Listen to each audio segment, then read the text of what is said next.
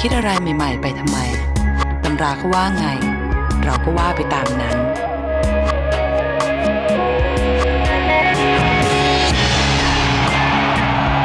ประเทศเล็กๆ จะไปแข่งอะไรกับเขาได้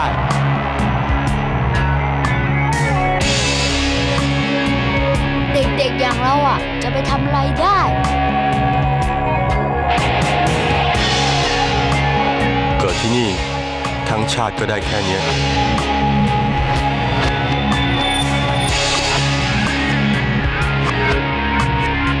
สียดาย ที่ลูกเกิดมาเป็นคนไทย เกิดเป็นไทยแล้วทำไม เป็นไทยก็เป็นที่หนึ่งได้ 25 ปีปตท กล้าคิดไกลเพื่อไทย